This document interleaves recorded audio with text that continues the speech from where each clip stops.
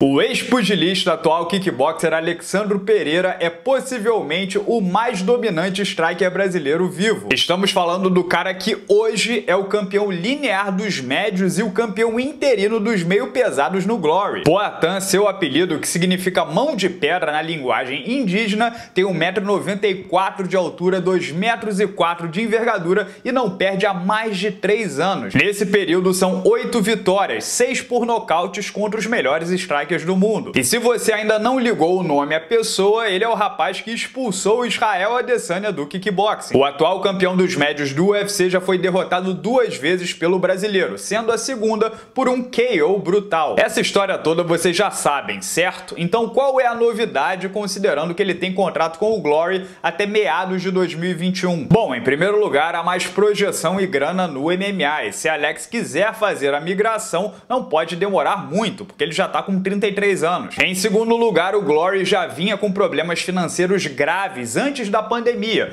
com eventos cancelados, então piorou tudo. Eles fecharam escritórios, demitiram executivos e estão passando por uma reestruturação profunda. Então o futuro do evento tá meio nublado. Na sequência, Poatan apareceu em Connecticut para treinar com Glover Teixeira, que no dia 12 de setembro enfrenta outro striker, Thiago Marreta. Até aí talvez nada demais, até porque o Alex Pereira já fez parte do camp do Anderson Silva para luta contra o próprio Israel Adesanya. Acontece que Jorge Guimarães, o joinha, empresário do cara, disse à ESPN na última terça-feira que ele está considerando seriamente a migração. Aí o próprio Alex publica um vídeo no seu Instagram do Glover o presenteando com uma luva do UFC, dizendo que é para ele se acostumar porque em breve ele estará lá. Conectando os pontinhos, então parece seguro dizer que se for para ser, a hora é agora. E se der essa lógica, vale notar que Poatan não é zerado na luta agarrada, assim como Israel Adesanya, ele também é faixa azul de jiu-jitsu. Ah, Renato, então temos um futuro campeão do UFC, pode já dar o cinturão pro cara. Não é bem assim, é a mesma coisa que eu disse sobre o Marcos Bochecha, é um cracaço, fora da curva, mas é outro esporte, nenhuma transição é garantia de sucesso. O Adesanya, por exemplo, perdeu a única luta amadora que fez e mesmo assim decidiu estrear profissionalmente. E essa estreia foi em 2012, ele pisou no Ultimate em fevereiro de 2018. É óbvio que o Alex, que chega com dois cinturões do Glory, não vai precisar percorrer todo esse trajeto,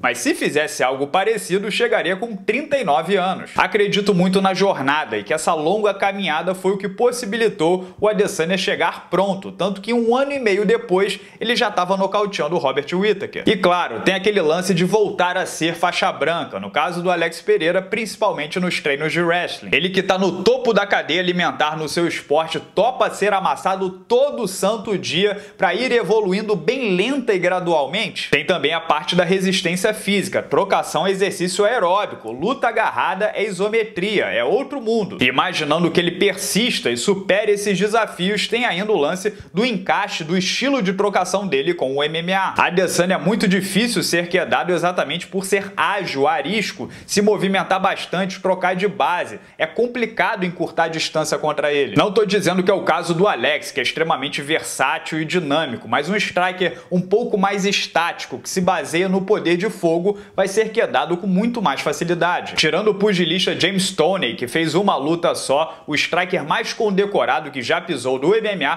provavelmente é o karateca Semi Shield, tetracampeão do K1 World GP. Com 2 metros e 12 de altura e 3 quilômetros de perna, o holandês foi quedado e finalizado por muita gente. Saiu 26-14 do MMA. Em suma, primeiro tem que bater o martelo, vem mesmo. Depois é só se dedicar de corpo e alma, sem esmorecer, repetindo a fórmula de bolo que deu muito certo no kickboxing e ter paciência. Passando por isso, com tempo para se adaptar e a conjuntura certa, sim, é candidatíssimo à estrela. Porque se o Adesanya não arranjou nada, meus amigos, é sinal que no UFC não tem ninguém para trocar com ele. E como sempre, pessoal, esses são apenas os meus dois centavos, o meu ponto de vista. O que, que vocês acham aí sobre a chegada desse fenômeno, Alex Pereira, no MMA? Comentem livremente aqui embaixo no vídeo, se inscrevam no canal para não perder nenhuma resenha. Ontem eu falei sobre José Aldo Júnior. Fizeram um desafio muito interessante a ele e eu acho que ele deveria aceitar. Para conferir tudo é só clicar no link aqui do lado. Fechado? Grande abraço a todos, muito obrigado pela audiência de sempre